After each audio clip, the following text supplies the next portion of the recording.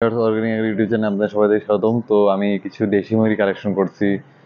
গ্রামের বাড়ি থেকে এইগুলো একই পালের সবগুলো মুরগি, একই পালের বলতে এখানে আমার টোটাল দশটা মোরগ দেওয়া এবং মুরগি দেওয়া আছে। তার ভিতরে দুর্ভাগ্যক্রমে তিনটা মোরগ হয়ে গেছে এবং সাতটা মুরগি।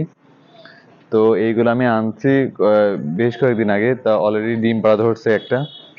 তা আমি এগুলো এনে প্রথমত সবার আগে মানে পাঁচ ছয় দিন থাকার পরে এদের আনছিলাম যখন, তখন এদের বয়স গিয়ে সাড়ে তিন মাস মতো ছিল। এখন এখন আমার বাড়িতে আছে এরা দুই মাস। তো আমি এদের পরে যেটা করছি মানে পাঁচ, ছয় দিন, সাত দিন থাকার পর আমি এদেরকে একটা ক্রিমের কোর্স করে দিয়েছি। এরপরে কোর্স সেটা হচ্ছে রানী ক্ষেতের একটা ভ্যাকসিন করেছি। এদের মূলত দেশি মুরগি যেহেতু, সেহেতু আমার এদের সব রকম খাবারই খাই। আমি এদের যতদূর সম্ভব মানে ফিড বা জাতীয় খাবার দেওয়ার অ্যাভয়েড করার চেষ্টা করি। আমার মুরগিগুলোর গ্রোথটা একটু কম, তবে আমার সমস্ত ভালো মানে ভালো অর্গানিক জিনিস মানে মাংস স্বাদটা হবে, খুবই ভালো এবং ডিমের সাথে হবে, খুব ভালো। আমি বাসার ভিতরে, এই এরিয়ার ভিতরে আমার মুরগিগুলো ছাড়ি মানে আমার বাসার নিচে এই একটা পরিবেশ দেখতে পাচ্ছেন ভিউয়ার্স এখানে আমাদের নিচেই মানে আমার মানে কিছু পেঁপে গাছ পেঁপে গাছ এবং লাউ গাছ, মিষ্টি কুমড়ো গাছ, ঝিঙা গাছ, এগুলো লাগানো আছে। এছাড়া কিছু ফুল গাছ লাগানো আছে নিচে আরও কিছু কিছু বেগুন গাছ, বেগুন গাছে বেগুন ধরছে মাসাল্লাহ এবং ঝাল মরিচ গাছ আছে। পুঁই শাকের গাছ আছে, ফুল গাছ আছে, কিছু। এইখানে আমি বাড়ির নিচে মূলত আমি এই- পজিশনে আমি মুরগিগুলো রাখি। মানে এখানে ছেড়ে দিই, এরা এরা, এই এরিয়ার ভিতরেই ঘোরাফেরা করে বের হয় না এই কাজের থেকে। এবং এর এছাড়া আমাদের বাড়ির নিচে সিঁড়ি ঘরে।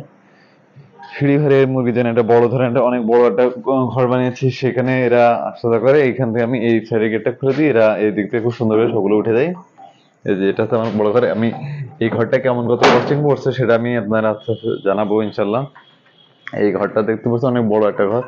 অনেক বড় ঘর মানে বেশ মানে এখানে একজন সিঙ্গেল বেডের একটা ঘর, দুইটা দুই তালা বিশিষ্ট মানে দুই তালা কিন্তু এটা সাইজ হচ্ছে ছয় ফিট মানে লম্বায় ছয় ফিট হাইটে আছে না সরি লম্বায় টোটাল হচ্ছে গিয়ে আমার উচ্চতায় উচ্চতায় ছয় ফিট মানে উচ্চতায় ছয় ফিট মানে তিন ফিট বাই তিন ফিট এর পরবর্তীতে এই এই দিকে বাই মানে উচ্চতায় ছয় ফিট গেল, আড়াই আড়াই আড়াই ফিট মতো আড়াইতে আড়াই ফিট এবং টোটাল দিয়ে এই উচ্চতা বরাবর গেল।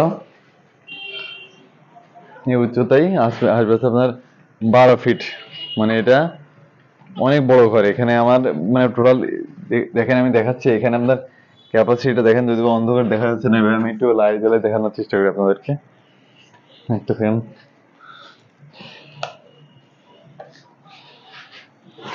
এইখানে দেখেন এইখানে দেখেন হ্যাঁ।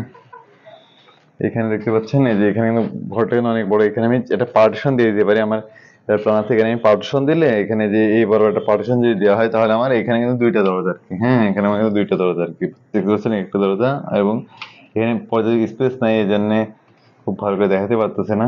এখানে দুইটা দরজা, এই দুইটা দরজার ভিতরে পার্টিশন দিলে আমার দুই দিলাম এর পরবর্তীতে আমি এখানে আরও কিছু ভাবতে, চিন্তা, কিছু হালকা দশ বারোটা ফার্মি মুরগি বাচ্চা কালেকশন করব। এখানে সাথে সাথেই পালবো। মানে খুব একটা আলাদা না, পুরো ঘরোয়া পদ্ধতিতে। তো এই, এখানে আমার তিনটা মরগ আছে। ওই একটা মরগ একটা মরগ, আর একটা মরগ আছে একটু ভিতরে এই মোটো ওই লাল, যে লাল মোটো ওর ঠুকাই এই জন্য আর কাছে থাকে না। আর আমার এই কালো মুরগিটা ডিম পাড়া ধরছে। কয়দিন, অল্প কয়েকটা ডিম দিছে। তো এই আর কি। সাথে থাকবেন। আসসালামু আলাইকুম।